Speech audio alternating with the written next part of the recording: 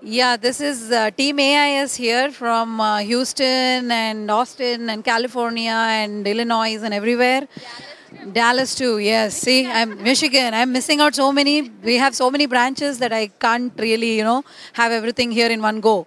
So we are uh, providing end-to-end services, insurance services. So if you have any requirements of any sort of insurance, you're having a company and you're looking for insurance for a bunch of people, and you have you have people traveling from India and you're looking for visitors insurance. You own a business and you're you know worried about your liability part of it, business insurance, individual and student insurance. So we have end-to-end services also supporting those insurances. So we have professional, um, you know, ex- uh, experts who deal with these insurances to help you out.